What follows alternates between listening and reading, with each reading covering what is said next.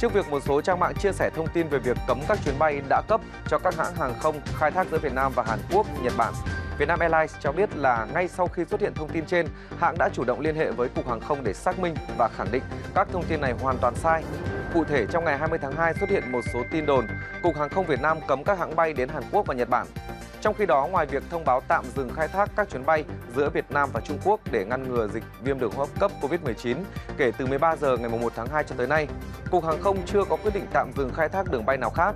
Vietnam Airlines khẳng định vẫn khai thác bình thường các chuyến bay giữa Việt Nam và Hàn Quốc, Nhật Bản theo đúng lịch bay đã được cấp phép của nhà chức trách. Các thay đổi về khai thác nếu có sẽ được hãng công bố đầy đủ và kịp thời đến khách hàng thông qua website hoặc trên các kênh phương tiện khác. Trước tình hình dịch Covid-19, hiện tại một số trường phổ thông và đại học đã đào tạo trực tuyến trong thời gian học sinh sinh viên nghỉ học kéo dài. Tuy nhiên, Hiệp hội các trường đại học cao đẳng Việt Nam kiến nghị Thủ tướng chỉ thị triển khai việc dạy học qua truyền hình bởi điều kiện áp dụng học trực tuyến không dễ, không phải người học nào cũng có máy tính, điện thoại thông minh. Kiến nghị của Hiệp hội nêu rõ, giảng dạy trực tuyến trong đó có giảng dạy trên truyền hình là xu hướng chung của giáo dục thế giới. Nhà nước nên huy động các kênh truyền hình cùng tham gia vào hoạt động giảng dạy nhiều giờ trong ngày, thậm chí cả ngày theo hình thức phi lợi nhuận cũng theo hiệp hội này, khi các kênh truyền hình cùng tham gia thời khóa biểu cho từng môn học đối với từng khối lớp phải được quy định rõ ràng, áp dụng chung thống nhất cả nước hoặc cho từng tỉnh thành. Các sở giáo dục và đào tạo lựa chọn giáo viên giỏi lên dạy. Học sinh ở nhà hoặc vài ba em học chung lớp có thể ngồi học trực tuyến. Bên cạnh có phụ huynh quản lý. Việc theo dõi hướng dẫn đánh giá kết quả học tập vẫn do đội ngũ giáo viên của các trường đảm nhiệm. Hiện Đồng Nai là địa phương duy nhất tổ chức ghi hình ôn tập qua truyền hình cho học sinh lớp 9 và lớp 12 với lịch cố định ngày 2 lần trên kênh truyền hình của địa phương này. Cho đến 8 giờ sáng hôm nay 21 tháng 2, tất cả các ca nghi nhiễm COVID-19 được điều trị cách ly tại Đà Nẵng đã xuất viện. Trên địa bàn ghi nhận không có thêm ca nghi nhiễm mới. Cụ thể, Đà Nẵng đã theo dõi cách ly 155 người nghi nhiễm COVID-19, trong đó có 122 người Việt Nam, 33 người nước ngoài. Hiện tại tất cả 155 trường hợp đều đã xuất viện. Riêng trong ngày 20 tháng 2, bệnh viện phổi đã cho xuất viện hai trường hợp cuối cùng đang điều trị tại bệnh viện này. Một là người Việt Nam và một người nước ngoài, với tình trạng sức khỏe ổn định. Tính đến thời điểm này, Đà Nẵng chưa phát hiện trường hợp nào dương tính với Covid-19. Tiếp tục giám sát tại cộng đồng 7 trường hợp, tất cả đều có sức khỏe bình thường. Được biết trong hai ngày 19 và 20 tháng 2, Đà Nẵng đón 100 chuyến bay và 3 tàu biển với 6.952 người nhập cảnh. Tất cả đều được giám sát chặt chẽ. Như vậy, hôm nay là ngày thứ ba liên tiếp Đà Nẵng không ghi nhận thêm ca nghi nhiễm COVID-19 nào cần theo dõi và điều trị cách ly. Vào ngày hôm qua 20 tháng 2, Chủ tịch Ủy ban nhân dân thành phố Hồ Chí Minh Nguyễn Thành Phong đã ký văn bản kiến nghị kéo dài thời gian nghỉ học của học sinh, sinh viên, học viên đến hết tháng 3. Tuy nhiên, một số ý kiến phụ huynh và giáo viên thì cho rằng nếu kiểm soát dịch tốt nên và đảm bảo an toàn nên cho học sinh đi học trở lại từ đầu tháng 3. Theo văn bản được Chủ tịch Ủy ban nhân dân thành phố Hồ Chí Minh Nguyễn Thành Phong ký ngày 20 tháng 2 gửi Phó Thủ tướng Vũ Đức Đam, Bộ trưởng Bộ Giáo dục Đào tạo Phùng Xuân Nhạ, thành phố Hồ Chí Minh kiến nghị cho học sinh nghỉ hết tháng 3, đồng thời tiếp tục học kỳ 2 từ tháng 4 đến tháng 7 năm 2020 và rời kỳ thi Trung học phổ thông quốc gia 2020 đến cuối tháng 7. Trước đó, thành phố Hồ Chí Minh đã quyết định cho học sinh sinh viên nghỉ học đến hết ngày 29 tháng 2. Tuy nhiên, trước đề xuất này, ngay cả những phụ huynh có con em đang theo học tại thành phố Hồ Chí Minh cũng tỏ ra băn khoăn.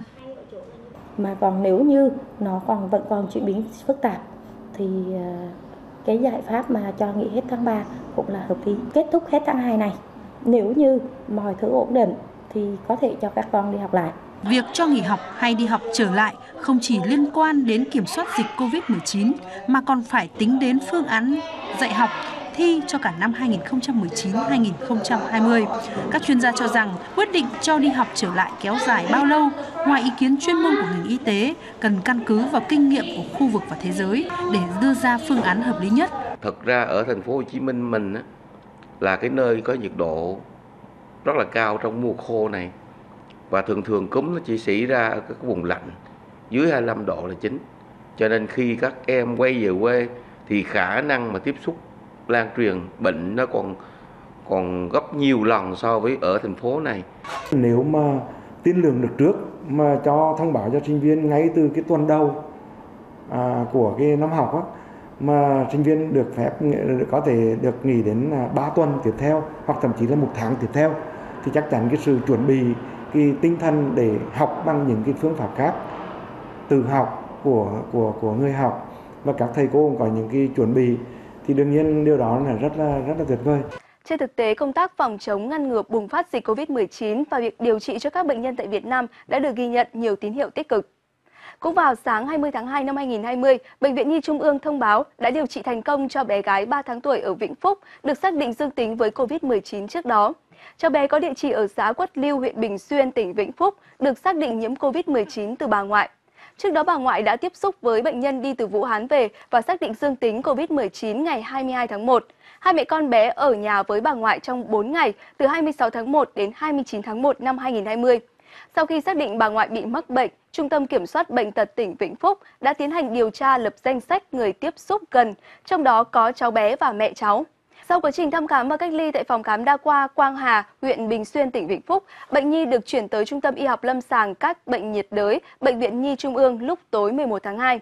Từ ngày 14 tháng 2 đến ngày 17 tháng 2, tình trạng lâm sàng của bệnh nhân ổn định. Kết quả xét nghiệm 3 lần đều cho kết quả âm tính với virus corona. Hiện tại trẻ chơi ngoan, tiếp xúc tốt, không sốt, bú tốt, đại tiểu tiện bình thường. Các chỉ số xét nghiệm sinh hóa, huyết học, x-quang tim phổi trong giới hạn bình thường. Sức khỏe của mẹ bé ổn định, đã 3 lần kiểm tra COVID-19 và đều có kết quả âm tính. Bệnh nhi sẽ được đưa về địa phương vào ngày hôm nay và sẽ tiếp tục được các y bác sĩ tại đây theo dõi sức khỏe cho cháu và mẹ. Như vậy, đến thời điểm hiện tại, Việt Nam đã điều trị khỏi cho 15 trên 16 trường hợp dương tính với COVID-19. Việt Nam cũng là nước thứ tư trên thế giới phân lập thành công chủng virus corona mới. Đây là một bước tiến của ngành y tế Việt Nam giúp các nhà khoa học rút ngắn khoảng cách, tạo tiền đề cho việc nghiên cứu và phát triển vaccine trong tương lai, cũng như đưa ra các biện pháp dự phòng hiệu quả hơn. Ngày 7 tháng 2, Viện Vệ sinh Dịch tễ Trung ương thông báo đã nuôi cấy và phân lập thành công virus corona mới COVID-19 trong phòng thí nghiệm sau 72 giờ theo dõi liên tục sự phân lập của virus mới này. Với kết quả này, mỗi ngày Việt Nam có khả năng xét nghiệm lên hàng nghìn mẫu bệnh phẩm. Việc mà nuôi cấy ờ, được cái ờ, virus ờ, COV năm 2019 này thì sẽ giúp cho cái vấn đề đầu tiên là sẽ là cung cấp một cái chứng chuẩn để xác định được cái mẫu dương tính trong tất cả những cái bệnh phẩm mà nghi nhiễm, để ờ, bổ sung một cái công cụ cho vào, bổ sung vào cái ờ, bộ sinh phẩm để chẩn đoán, vào cái hệ thống chẩn đoán thì đây là một cái hết sức là quan trọng bởi vì từ những cái hệ thống chẩn đoán hiện tại thì chúng ta là chưa có cái virus thật sự, mà chúng ta mới chỉ sử dụng là những cái protein mô phỏng hoặc là chính là cái virus SARS năm 2003 mà giống với virus này thôi. Ngành y tế cũng cho biết, hiện trứng dương làm mồi thử cho xét nghiệm do Viện Vệ sinh Dịch tễ Trung ương nuôi cấy và phân lập thành công từ virus corona đã được chuyển xuống một số bệnh viện tuyến dưới để tập huấn cho các đơn vị xét nghiệm, thực hiện triển khai xét nghiệm ca nghi ngờ, giảm bớt áp lực cho tuyến trên. Hiện đơn vị này vẫn tiếp tục nghiên cứu sâu hơn để có thể xác định cụ thể được độc lực của virus, cũng như tiền đề nghiên cứu kháng thể để sản xuất vaccine. À, hiện nay thì chúng ta chúng tôi cũng đang à, nghiên cứu kỹ hơn về cái trình tự gen của cái virus mà chúng ta phân lập được ở Việt Nam.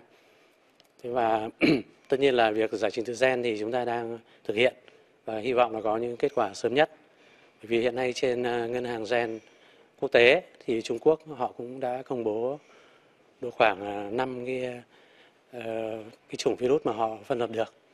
Thế và cũng có một số những cái à, chủng virus khác của các nước cũng đã công bố. Thì chúng tôi hy vọng là chúng ta phân lập được cái chủng virus ở Việt Nam giải trình tự gen và chúng ta cũng sẽ công bố và qua đó thì chúng ta có thể đánh giá được là cái, cái virus ở Việt Nam nó có cái độ tương đồng như thế nào đối với virus ở Trung Quốc hoặc là các cái nước khác. Tôi nghĩ có lẽ cũng phải mất ờ, 6 tháng hoặc một năm thì chúng ta mới có những cái kết quả ban đầu về cái hướng nghiên cứu về kháng thể cũng như là để sản xuất vaccine.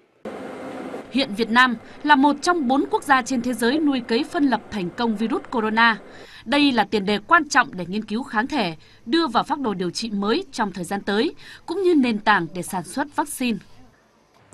Ủy ban Y tế Quốc gia Trung Quốc hôm nay 21 tháng 2 đã xác nhận 889 ca nhiễm mới, 1.614 ca nghi nhiễm virus COVID-19 và 118 ca tử vong trong ngày 20 tháng 2 tại nước này.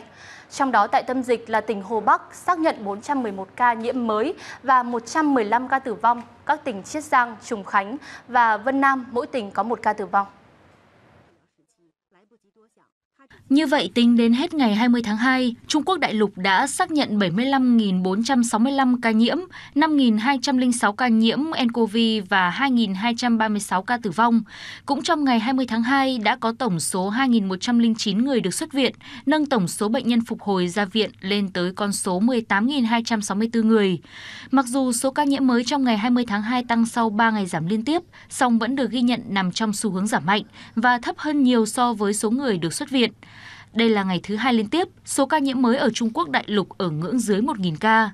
Giới chức Trung Quốc cho rằng tỷ lệ người nhiễm mới giảm cho thấy các cấp chính quyền đã khống chế tốt dịch tại tỉnh Hồ Bắc với việc hạn chế triệt để đi lại và di chuyển với cả người dân và các phương tiện giao thông. Phát biểu trước báo giới tại Geneva, Thụy Sĩ ngày 20 tháng 2, Tổng Giám đốc Tổ chức Y tế Thế giới WHO Tedros Adhanom Ghebreyesus ghi nhận tình trạng giảm rõ rệt số ca nhiễm mới, nhưng cảnh báo chủng virus mới này vẫn có thể tiếp tục lan nhanh tại Trung Quốc và các nước khác. Trong khi đó, hôm nay Hàn Quốc thông báo có thêm 52 ca nhiễm COVID-19, nâng tổng số trường hợp nhiễm bệnh lên 156 và làm dấy lên nguy cơ COVID-19 đang lan nhanh tại quốc gia này. Chính phủ Hàn Quốc đã tuyên bố các thành phố phía đông nam là Daegu và Cheongdo là khu vực quan tâm đặc biệt sau một loạt trường hợp nhiễm COVID-19 tại đây trong những ngày gần đây. Số ca nhiễm COVID-19 ở Hàn Quốc đã tăng gần gấp 3 lần chỉ trong 3 ngày. Ngày 20 tháng 2, thành phố Daegu, phía đông nam Hàn Quốc đã được đặt trong tình trạng báo động sau khi Hàn Quốc ghi nhận ca tử vong đầu tiên. Hiện người dân tại thành phố 2,5 triệu dân này được khuyến cáo ở trong nhà và trường hợp cần thiết phải đi ra đường phải đeo khẩu trang đầy đủ. Quận Cheongdo thuộc Gyeongsang Bắc cũng đã được đưa vào danh sách khu vực quan tâm đặc biệt. Số ca nhiễm COVID-19 tăng mạnh tại Daegu và một số trường hợp nhiễm mới tại Seoul, những nơi mà con đường lây nhiễm chưa thể xác định ngay lập tức, đã khiến các quan chức y tế đưa ra tuyên bố dịch COVID-19 đang bắt đầu lan ra ở địa phương. Đáng chú ý, trong số 52 trường hợp nhiễm mới, có 39 ca có liên quan đến nhà thờ Sincheojin ở Daegu, đặt ra suy đoán rằng có thể đã có một trường hợp nhiễm bệnh siêu lây lan đến tham gia các hoạt động ở đây một người phụ nữ 69 tuổi dương tính với COVID-19 đầu tuần này đã tham gia các hoạt động ở nhà thờ vào ngày 9 tháng 2 và vào Chủ nhật tuần trước 16 tháng 2. Trung tâm ngăn ngừa và kiểm soát dịch bệnh Hàn Quốc cho biết vẫn chưa chắc chắn về việc liệu người phụ nữ này còn được biết đến là bệnh nhân thứ 31 có phải trường hợp siêu lây lan hay không, nhưng đã yêu cầu 1.001 người đến nhà thờ phải tự cách ly để ngăn chặn sự lan rộng của virus. Chỉ giờ sau khi Iran xác nhận thêm 3 trường hợp mới mắc COVID-19, Bộ Nội vụ Iraq đã quyết định đình chỉ cấp thị thực cho, du lịch cho những người đến từ Iran tại các cửa khẩu biên giới. Theo đó, Iraq quyết định ngăn tất cả những người nhập cư từ Iran vào lãnh thổ nước này cũng như yêu cầu công dân không tới Iran cho đến khi có thông báo mới, ngoại trừ các phái đoàn ngoại giao kiểm tra y tế. Người Iraq hiện đang ở Iran được loại trừ khỏi lệnh cấm nhưng phải tuân theo các thủ tục kiểm dịch và theo dõi trong vòng 14 ngày.